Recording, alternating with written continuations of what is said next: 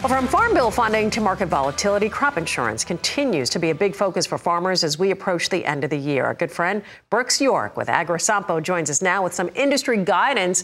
Brooks, happy Friday to you. Happy Thanksgiving to you, all of the above. Thank you for joining us this morning. So I have to ask you, you know, looking at the 2023 insurance period, kind of winding down at this point, can you give us a general idea as far as a number of claims that a company the size of AgriSompo has over the course of a crop year? Well, Suzanne, you know, when we look back, we talked a little bit about this over the last few months, but we look back, we kind of have to remember we start the claims process in the spring.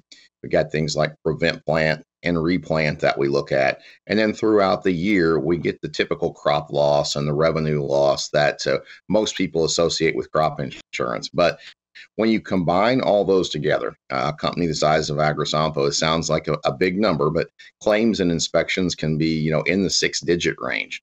So um, they all kind of combine. You don't see these things coming necessarily right off the bat, but they all combine and uh, makes for a lot of work for adjusters in the field, even in a normal year. Wow, that is a lot of work. And thank God, though, that we have crop insurance. Absolutely. I know it plays a critical role in helping bridge the gap for farmers in so many challenging times. However, though, overall, I want you to paint a picture for us. Overall, to rural America as a whole, can, if you can maybe give us an example of why crop insurance is vital to rural economies. You know, Suzanne, I think that when we think about, you know, rural America, we think about the small towns, the counties whose primary economy is farming.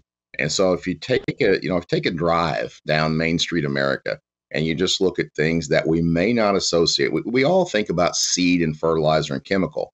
But when you look at things deeper and you look uh, Main Street um, in rural America, we see, you know, office supply stores, we see auto parts stores. It may be the dry cleaners. Uh, and, and, you know, when, when we listen to that, uh, those uh, small town sports a lot of times on the radio. A lot of the sponsors, guess who they come from?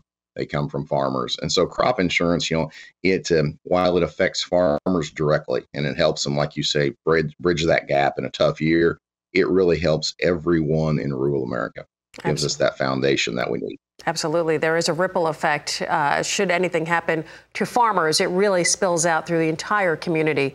So, so important to have crop insurance. Brooks, thank you so much for being here. AgriSompo Producer Services Director Brooks York.